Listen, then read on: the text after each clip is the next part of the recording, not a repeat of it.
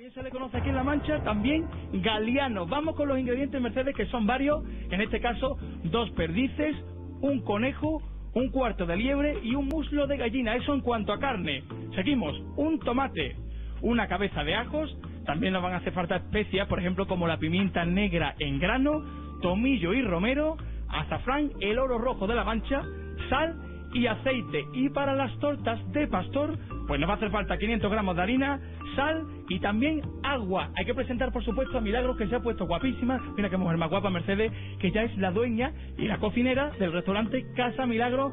Milagro, empezamos ya dando un golpe a los ajos, eso es lo primero. Sí.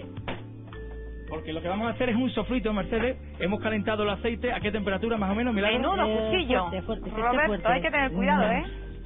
180 grados, 200. Hay que tener cuidado, pero ella tiene muy buenas manos y yo estoy totalmente confiado. Lo primero ya ponemos en este aceite los al ajos. aceite. Con la piel y todo porque dice Milagro que así le dan más gustito. Lo segundo que vamos a añadir, Vamos a añadir la carne. la carne, poquito a poco. Poquito a poco que no nos quememos. La carne, Eh, perdiz, conejo, liebre. la que habíamos dicho en los ingredientes, por Y supuesto. gallina. Bueno, bueno, bueno, que, que que caliente está ese aceite, ¿eh? ¿Cuánto tiempo tiene que estar la carne haciéndose? Pues así, con la fuerza que tiene el aceite, minuto y medio. Un minutito y medio. Sí. A esa carne, ¿qué hay que añadirle? Lo siguiente, Lo siguiente, el tomate. Fíjate Mercedes en este tomate porque es tomate triturado, pero que tampoco tiene ni pepitas ni siquiera la piel. ¿Esto por qué, Milagro? Pues porque luego después el caldo no nos salga por ahí ningún tropezoncillo, que no se vea. Sea, para que no se vea a la hora de comerlo el, el pellejito del tomate, la piel del tomate. Que solamente se vea el del gustillo. Lo siguiente que añadimos, vamos ya con las especias, esa pimienta negra en grano. Sí. Hay que ser generoso por lo que veo, ¿no? Generoso que de gustillo, que la pimienta siempre da buen sabor a todo lo que se añade. Seguimos moviendo y añadimos la siguiente especia, el romero y el tomillo, Sí, una buena ramilla. para que le dé aroma. Sí, en esta zona hay buen tomillo. Generosos con el tomillo. También. Qué buena pinta está teniendo ya eso, Milagro. Dices, ¿Te gusta? El olor divino, el olor divino. Pero y ahora, cuando le vamos a añadir la última de las especies, en este caso, como le llamáis aquí, Ah, a mí me encanta esto. Le llamamos el oro de la mancha. el oro de la mancha. Me decía, Además de nuestra zona, ¿eh? decía, decía Milagro que ella en un examen le preguntaron una vez cuál era el oro rojo de la mancha y acertó, dijo, nuestro azafrán. Qué bien se vende Milagro, pero es que además es verdad. A este sofrito que estamos haciendo ya con la carne hay que añadirle por último agua, decías, Sí. y agua templada. Sí, agua, sí.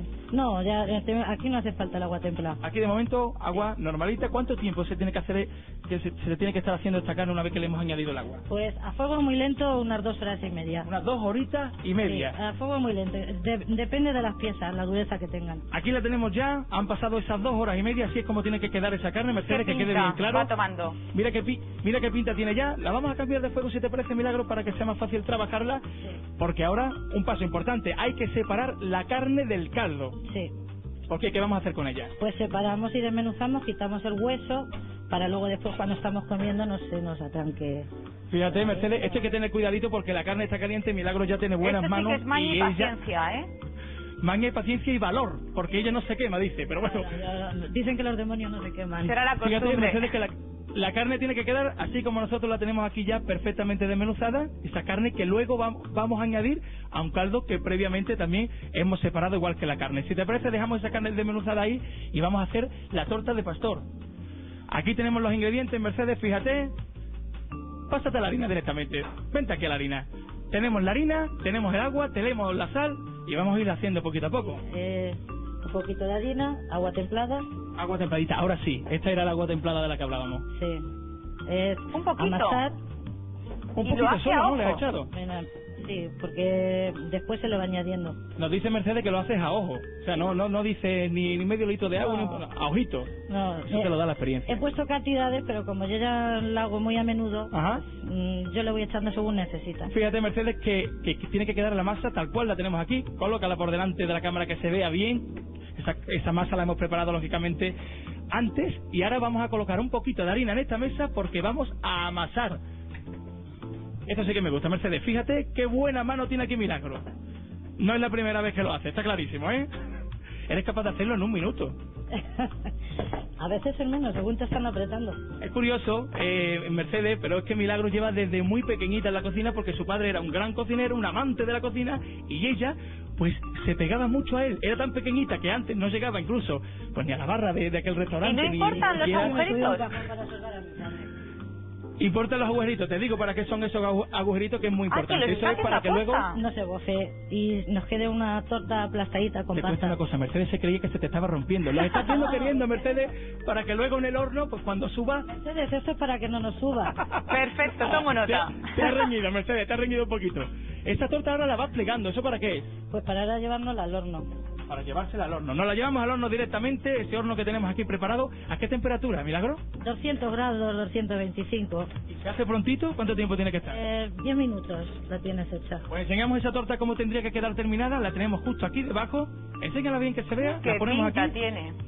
Pero fíjate ahora que tiene que quedar realmente así, totalmente desmenuzada porque nos la llevamos Después la para rompemos ese caldo. entonces. Sí, sí, hay que romperla, desmenuzarla bien y añadirla al caldo del que habíamos separado la carne, por supuesto. Una vez que la echamos bien, que quede bien empapadita esa torta de pastor, hay que irle añadiendo pues esa carne que decíamos que habíamos desmenuzado y este es el último paso. Pónsela con alegría, milagro, que nos ha salido un plato Si me dais la divino. maleta, se la pondré, me la habéis quitado. Te hemos quitado la Contundentes los platos manchegos, ¿eh, Roberto?